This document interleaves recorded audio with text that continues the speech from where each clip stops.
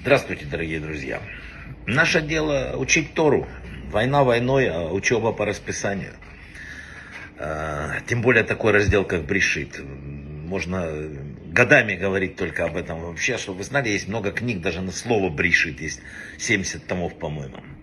Итак, раздел Брешит чрезвычайно насыщен событиями и явлениями, охватывающими ну, громадный пласт бытия.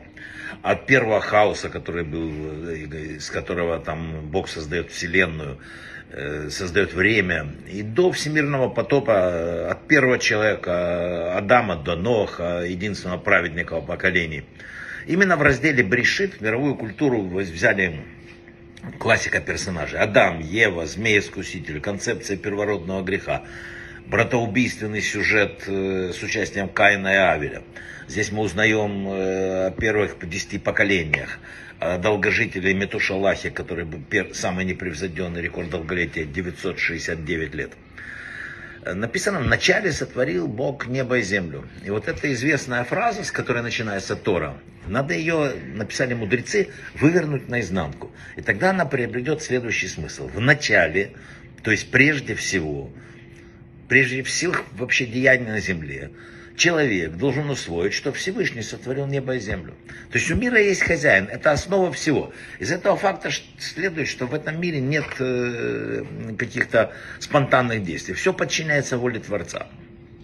И когда мы определили для себя, вот в этом путешествии по жизни, есть Бог или нет, вот это есть два э, направления, которые мы можем выбрать. Если есть Бог, значит все создано им, значит имеет цель моя жизнь, имеет цель земля, имеет все. Мы не все понимаем, но она есть. Если Бога нет, ну все случайно, все, между прочим, мы все амебы, кто сожрет больше и так далее.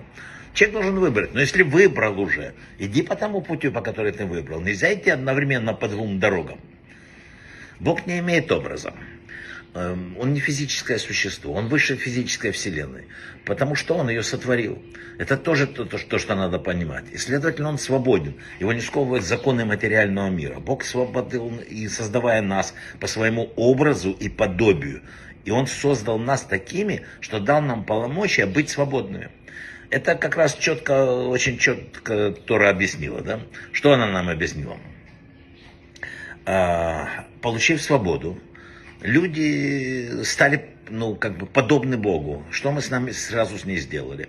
Адам и Хава ослушались повелений Бога. Каин убил Авеля. В конце нашей недельной главы мы оказываемся в мире накануне потопа. До такой степени э, разбой захватил землю, что Бог уже говорит, что ну, просто достали вы, по-русски говоря. И вот воспользуемся ли мы нашей свободой, чтобы соблюдать порядок, или злоупотребим ими, чтобы сеять хаос. Это наш выбор. Бог создал мир, Он сам знает, как будет, Он знает все. Но вот свободу Он нам дал.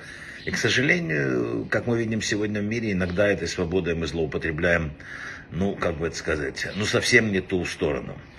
И вот вопрос, окажемся ли мы достойны образа Бога, живущего в человеческом уме и сердце. Либо опозорим этот образ и создадим животных, которые из себя, которые, вот как видели, мы убивают детей, женщин и так далее. Вот это вот то, что нам дано выбрать. И каждый раз, каждый, каждый шаг, каждая минута мы делаем этот выбор. Сказал Бог знаменитые слова, да будет свет. Каждый человек является своего рода таким микрокосмом он э, мир в миниатюре. Вот у каждого человека, мы не всегда это понимаем, но у каждого у человека вот как бы определенный мир. И судьба человека является в определенной степени судьбой мира. И э, порядок творения, который мы изучаем в книге Брешит, он примирим каждому человеку, каждой личности. Свет есть конечная цель существования каждого человека. То есть каждый призван преобразовать окружающую действительность свет. То есть мы создаемся, попадаем в этот мир в определенной ситуации и все. Но вот именно нам надо принести наш вот этот особый свет. Свет есть конечная цель существования. Порядок действия вот, э, человека в ходе реализации вот этой программы по, по выявлению света, да, он такой же, как и порядок божественного творения. Вначале следует сформулировать цель, что нам сегодня необходимо сделать. Это должно провести, привести нас к пробуждению от спячки. Вот мы должны проснуться, поставить перед собой задачу, расписать ее. Человек ощущает себя новым творением. Вот, вот. И в этом состоянии, как вообще учит нас философия хасидизма, весь мир создается непрерывно заново. Человек должен осознать, что задача его существования выражена в словах «да будет свет». А затем, уже сделав первый шаг, он должен отражать эту цель во всех своих действиях. То есть наша задача принести в этот мир свет. Никаких других задач нет. Да будет свет. Вот это то, что мы с вами должны помнить, знать, с чем мы войдем в новый учебный год. Брахава от слаха.